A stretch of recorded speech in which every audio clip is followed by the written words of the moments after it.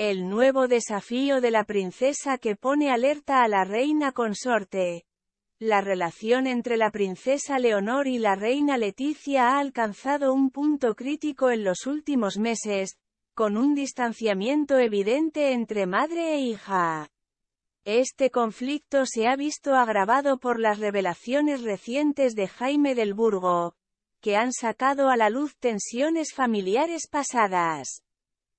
A pesar de que Leonor era joven durante la crisis de sus padres en 2013, ahora, a sus 18 años, se encuentra en medio de una situación complicada.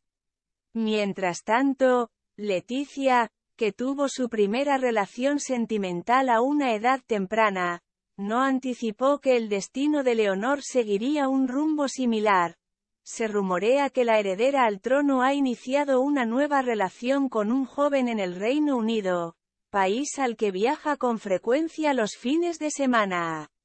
Leonor prefiere pasar poco tiempo en Zarzuela con sus padres, optando por la libertad que encuentra en Zaragoza junto a sus amigos.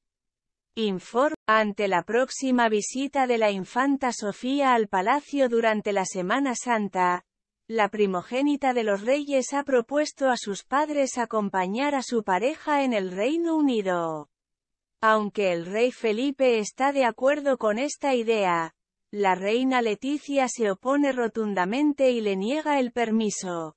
Durante la Semana Santa, es probable que Leonor deba cumplir con sus compromisos institucionales y mostrarse junto a sus padres en eventos públicos, siguiendo la agenda establecida. Sin embargo, la familia real parece estar tomando caminos separados en esta ocasión, lo que refleja la división que actualmente reina en el seno de la familia. La tensión entre Leonor y Leticia parece estar lejos de resolverse, y la familia real se encuentra